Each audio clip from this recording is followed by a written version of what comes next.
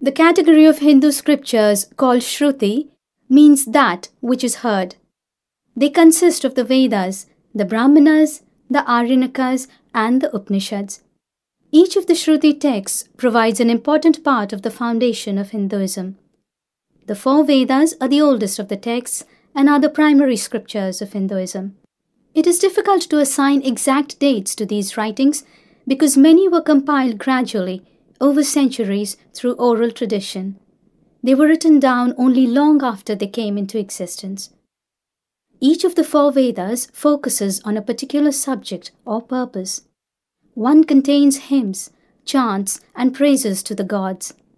Another Veda serves as a guidebook for rituals and priestly behavior. A third offers information on magic and charms that can be used as blessings or curses. And the fourth gives musical notes to be chanted while performing the rituals. Together, the four Vedas have had a deep and lasting influence on Hinduism.